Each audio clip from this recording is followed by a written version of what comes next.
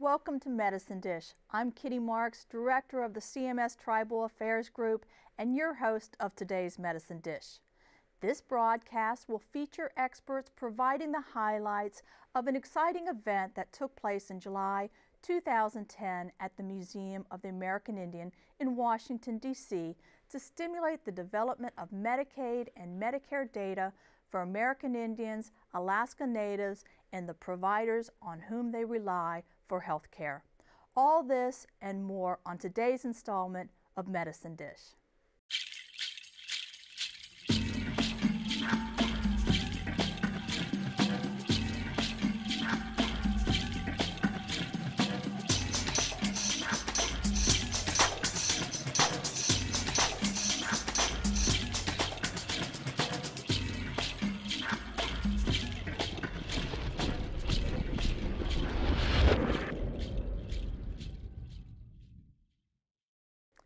And again, welcome to Medicine Dish.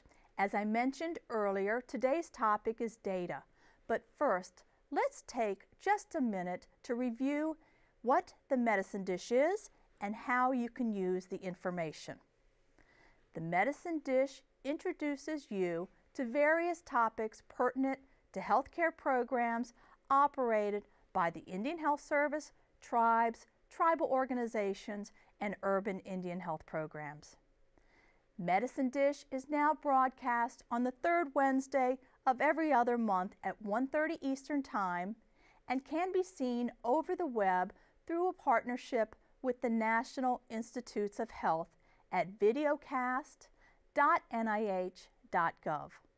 The next show will air on June 15th. All of the shows are archived at videocast.nih.gov and are easy to access if you can't watch at the regularly scheduled time or want to review the information.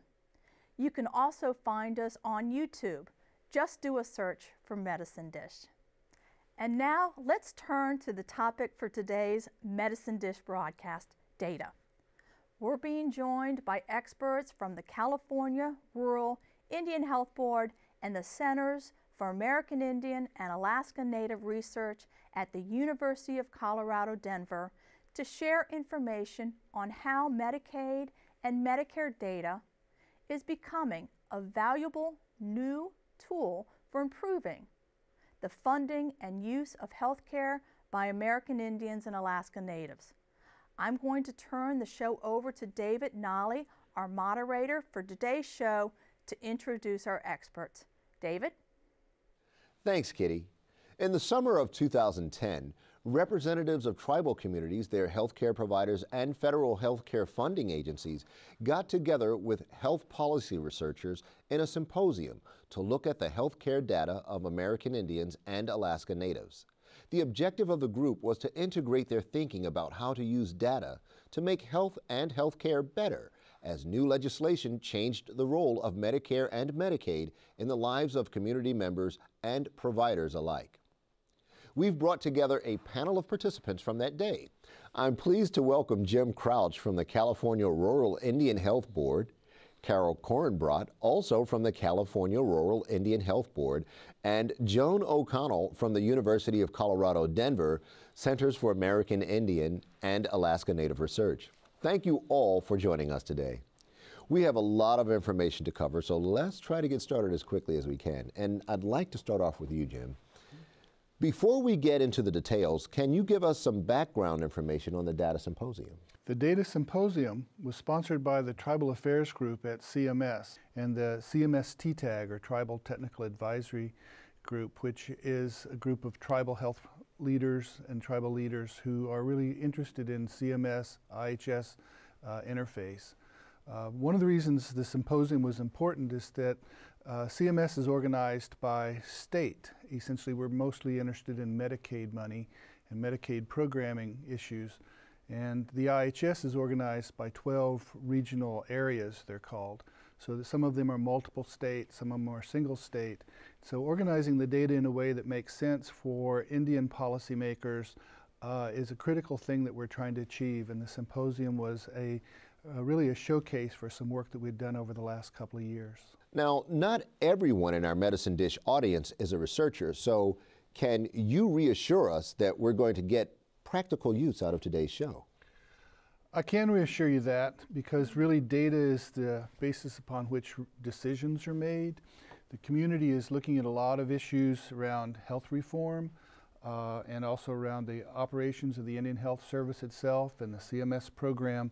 And really we use the data uh, to help understand how those, those systems interact. So I'm pretty sure today there will be things that will be useful to administrators and other people who are responsible for the IHS and CMS delivery systems. Okay, Jim, why is it important to have Medicare and Medicaid data for American Indians and Alaska Natives? Well, there are a number of reasons. Probably the most important is that the Indian Health Service system is jointly funded by the Indian Health Service in a uh, direct appropriation and also then the reimbursements from both Medicare and Medicaid.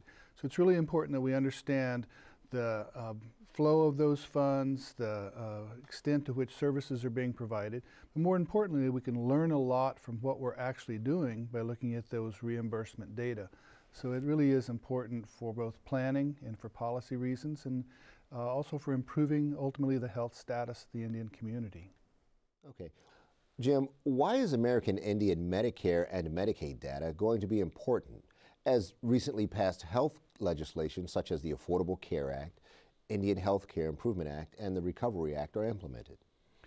Well, there are a number of reasons. First and foremost is there going to be a great expansion in Medicaid coverages, and that's a major provider of uh, resources for Indian health care.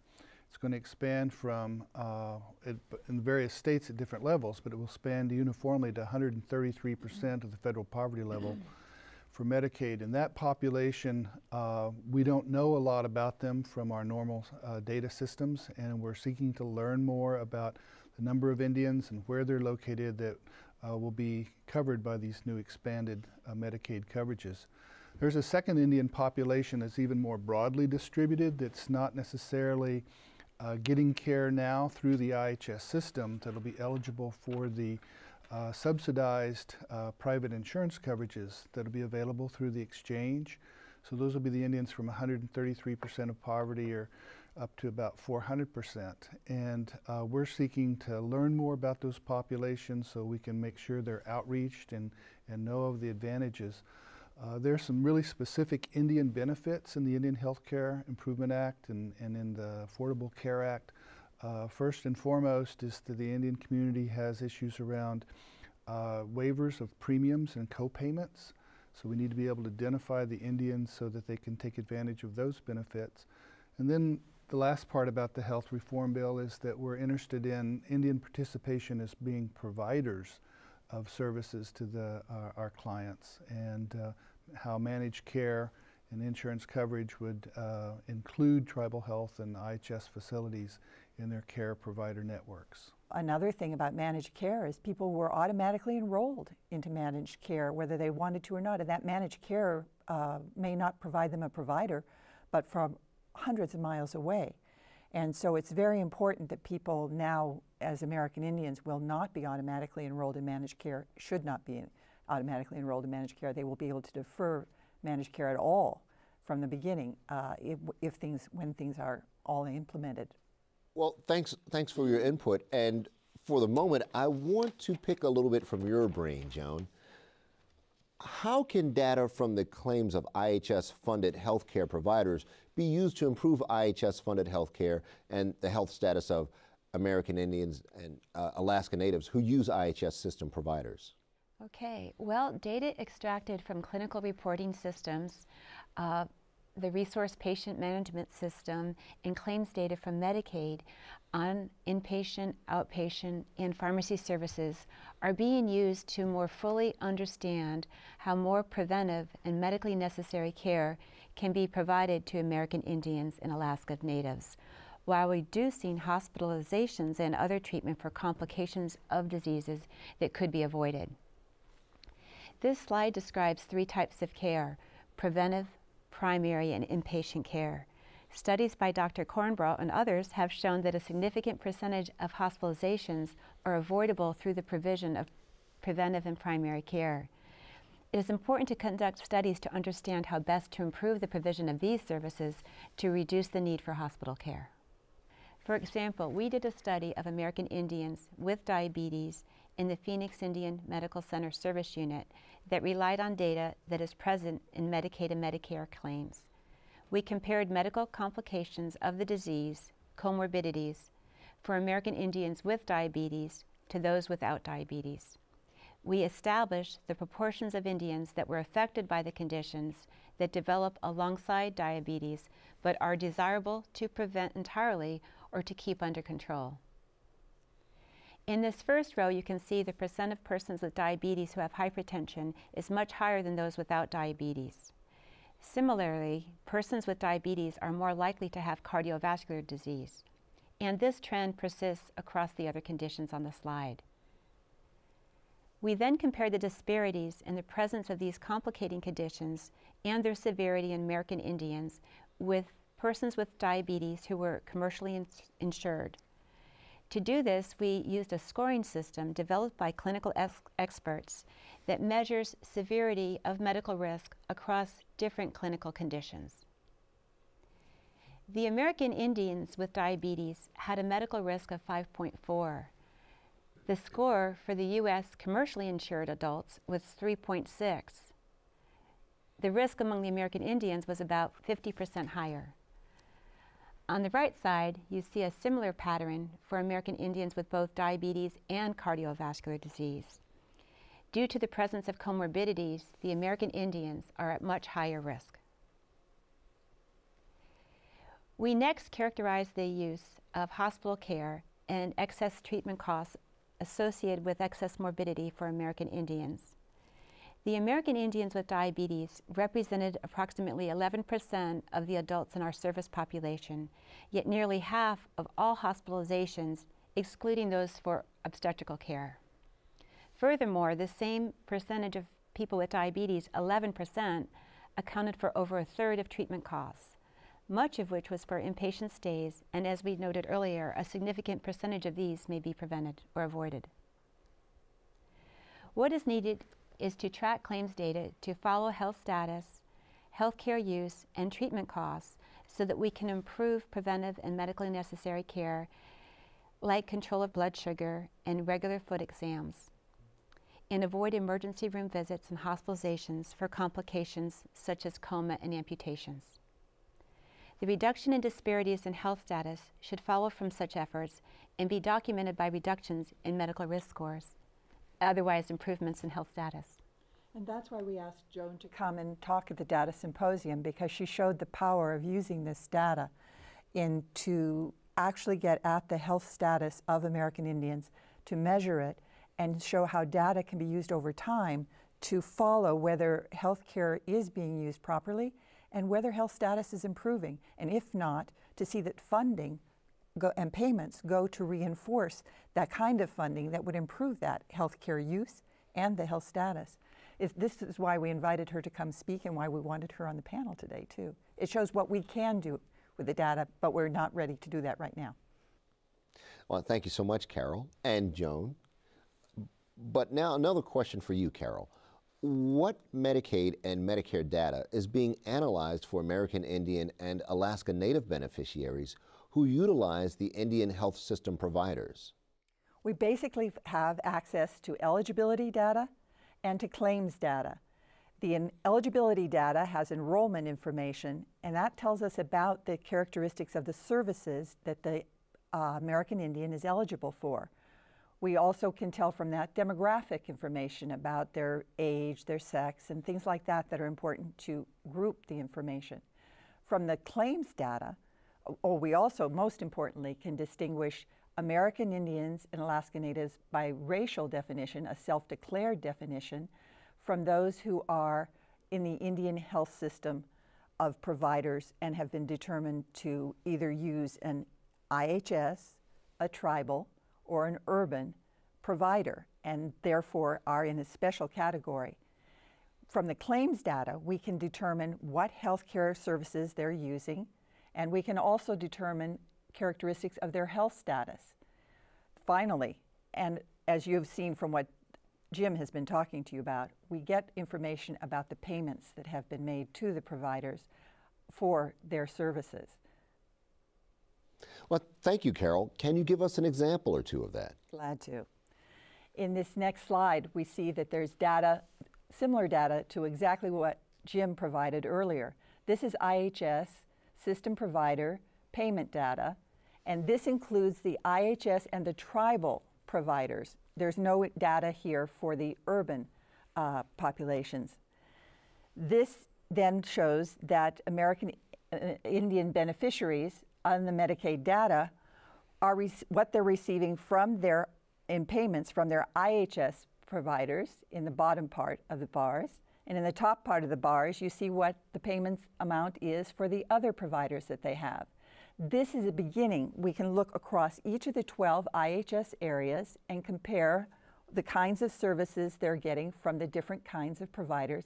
And we can find out the whole range of providers that those American Indians are using.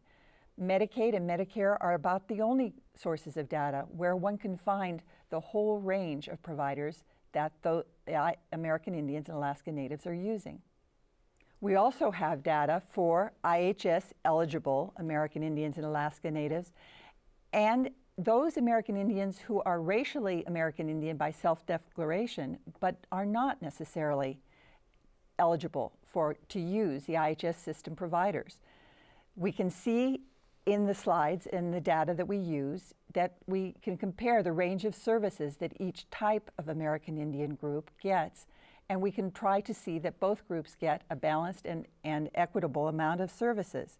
We can look at, at the amount of services that they're getting and the types of care that they get. Okay, thank you, Carol. I would like to, at this point, throw out a question to all of you. So, anyone, please feel free to just step up and answer this question as you feel comfortable. What were some of the challenges that you faced? Well, the, the first real challenge in any of this work is actually getting permission to have access to the data, to have uh, ability to um, do that in a way that's compliant with uh, federal regulations and statutes.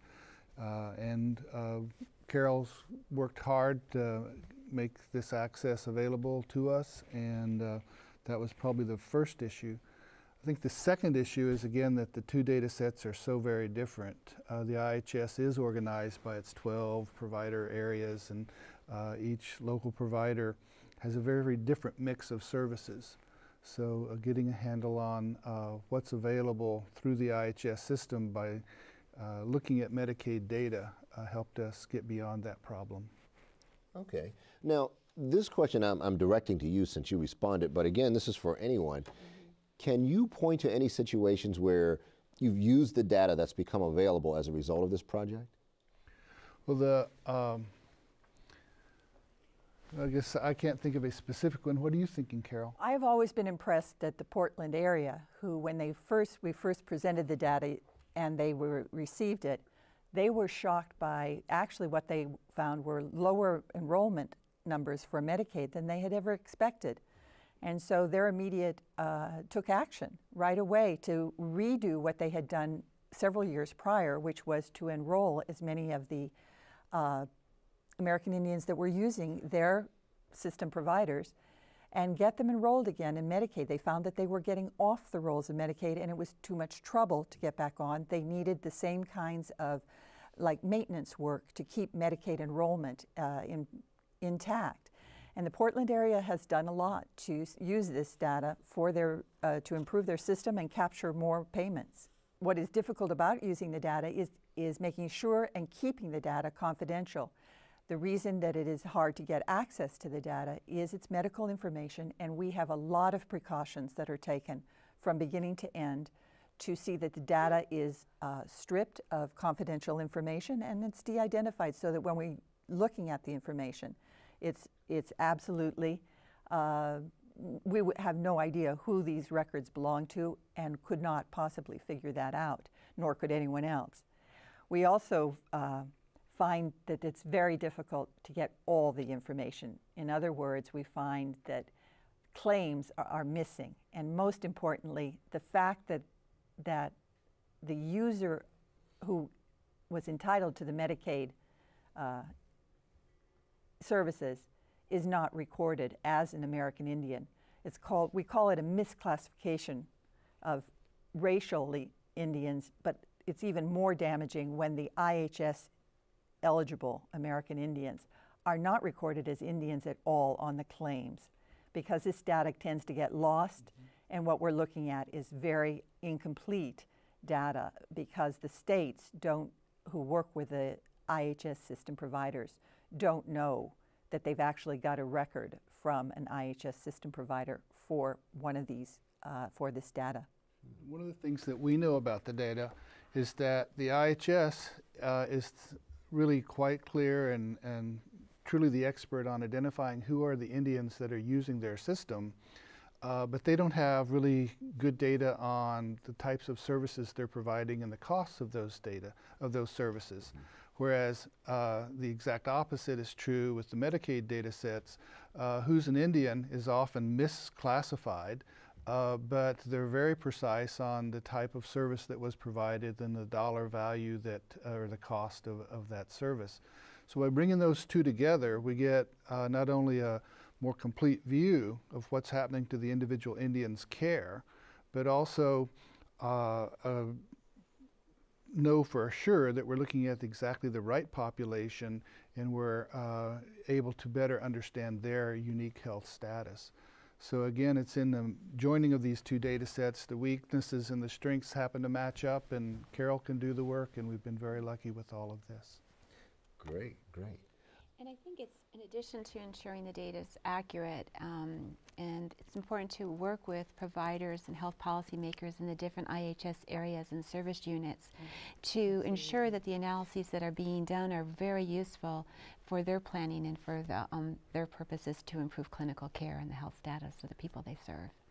I think it's also true, Dave, that we're hoping that uh, they will themselves uh, try to address the data. Uh, we've got a number of studies that we've done uh, that are available on the CRIHB webpage uh, that have been part of this uh, CMS funded TTAG directed uh, activity.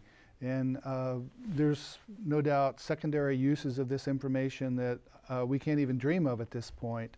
once more people essentially address the data and think about how it impacts what they're doing and what it tells them about what's going on in their local health care program. Okay, well, thanks again, Jim. So here's another question for the group again, and I, I, guess maybe I'll target you this time, but feel free, anyone jump in. How can our viewers in the IHS tribal and urban Indian health programs use this data in their everyday work? Well, I think from this data, Carol pointed out, they can look at the types of reimbursements for American Indians and Alaska Natives being served in their region to understand how there's variability between the regions with regard to the amount of funding coming in. Then I'd say the second thing would be is for the Indian Health Service, tribal and urban providers to work with their local Medicaid agencies to understand and assess opportunities for um, billing for services that would really enhance care for people with certain conditions, such as diabetes, heart disease, or perhaps adolescents with mental health needs. It's very important that all the IHS system providers, the administrators know who their state Medicaid tribal liaison or IHS liaison. They're named differently in different states. But who that person is, and if that person changes, who, who it's changing to, because they have to work closely so that Medicaid, state Medicaid programs learn better uh, how to capture and identify this data and, and uh, enrich the databases that they provide to the federal uh, system. This is especially true because there are many system providers who have to deal with more than one state. So they have to deal with more than one Medicaid program, more than one liaison, and more than one uh, system of capturing data. That's very important, and we're, we're asking that burden to be shared now. And it's an ongoing process. You, the regulations are always changing and evolving. New opportunities exist, such as under healthcare reform. So having that ongoing relationship to understand opportunities to improve care will be is really important, especially in the coming years. Okay. Well, Jim, if I may, I want to target you with this one because they both touched on something that it, maybe you can expand on. Now that our viewers know this data is available, what advice would you give them about accessing and using the data? Uh, well, the simplest thing would be to uh, get on their web browser uh, and uh, search out California Rural Indian Health Board. Uh, our web address is www.crihb.org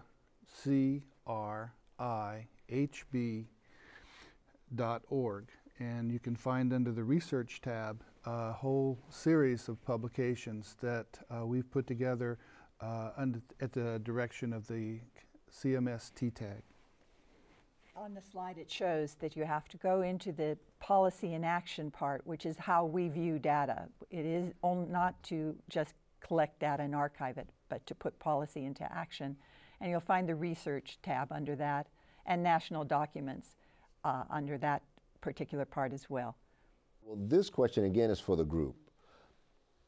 What's the future of the project? Do you see any further developments on the horizon? Oh, we're doing some really exciting work right now, and uh, particularly pertains to how the uh, mix of resources, uh, CMS and IHS resources, uh, differ by IHS area you might think that the Indian Health Service uh, has a uniform sort of resource allocation process, but actually it's uh, an alluvial thing that's grown up over time. Uh, and so that uh, when the Medicaid program uh, became available for billing in 76, uh, the IHS really never took advantage of it, and over time they've learned to coordinate better with it. So we're doing some research on how much uh, reimbursement is uh, coming in per IHS client uh, through all their providers, not just the IHS provider site.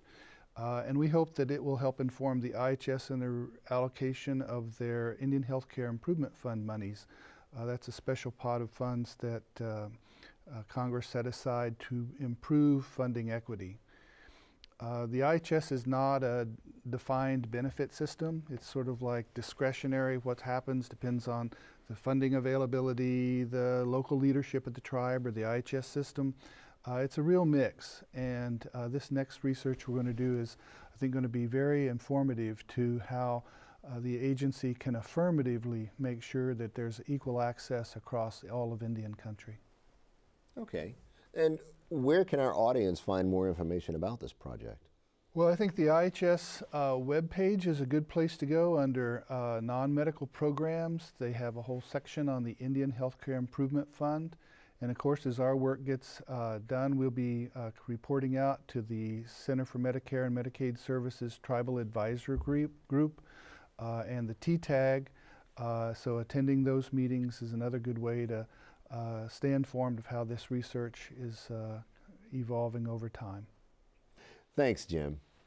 I'd like to thank all of our panelists for their contribution to this discussion and for joining us today. Kitty? We've covered a lot of information today. I'd like to thank Jim Crouch, Carol Korenbrot, and Joan O'Connell for sharing their insights on the impact of Medicare and Medicaid data on Indian country. We're at the end of our Medicine Dish show, and I want to thank you for your participation in our broadcast. Our next broadcast will be on the third Wednesday of June, that's June 15th at 1.30 p.m. Eastern Time. You can access previous Medicine Dish programs at a new location on the NIH website, videocast.nih.gov. Go to past events, select trainings and meetings, and then select CMS, Centers for Medicare and Medicaid Services, or find us on YouTube under Medicine Dish. Thank you, and I hope you enjoyed and benefited from today's Medicine Dish show. I'm Kitty Marx, host of Medicine Dish, wishing you a very productive day.